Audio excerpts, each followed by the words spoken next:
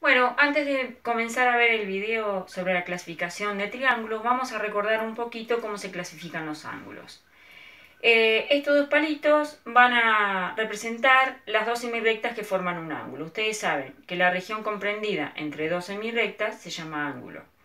Bueno, muy bien. Los ángulos tienen nombre según la amplitud o la medida. Si el ángulo mide menos de 90 grados, es decir, menos que un ángulo recto, digo que es agudo. Si mide 90 grados, digo que es recto. Si mide más de 90 grados, digo que es obtuso. Si estas dos semirectas quedan alineadas, digo que es un ángulo de medio giro o un ángulo llano. Muy bien. Eh, esta caracterización o esta clasificación la tengo que tener en cuenta cuando voy a clasificar triángulos por sus ángulos. Es decir, si yo tengo un triángulo que tiene un ángulo recto, es decir, que su ángulo, un ángulo, mide 90 grados, digo que mi triángulo es rectángulo.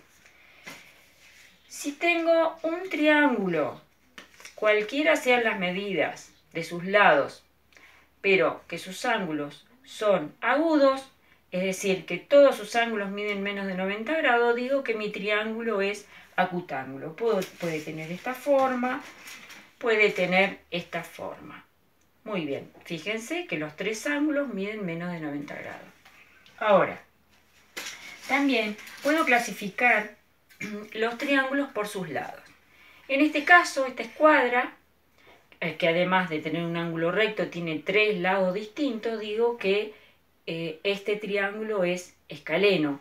Pero además también tiene un ángulo recto, así que puedo decir que es un triángulo escaleno rectángulo. Este triángulo tiene dos lados iguales, del mismo largo, de la misma medida, de la misma longitud, y un lado más chico, entonces digo que es un triángulo isósceles.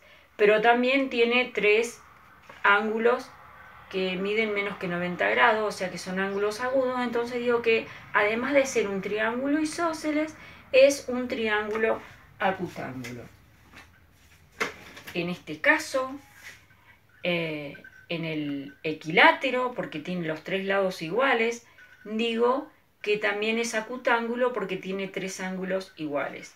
Ahora, en el caso que le mostré recién, que es un triángulo escaleno porque tiene los tres lados diferentes, también tiene un ángulo recto, entonces rectángulo, pero puedo también tener el caso de tener un triángulo rectángulo que también es isósceles porque tiene dos lados iguales y uno diferente.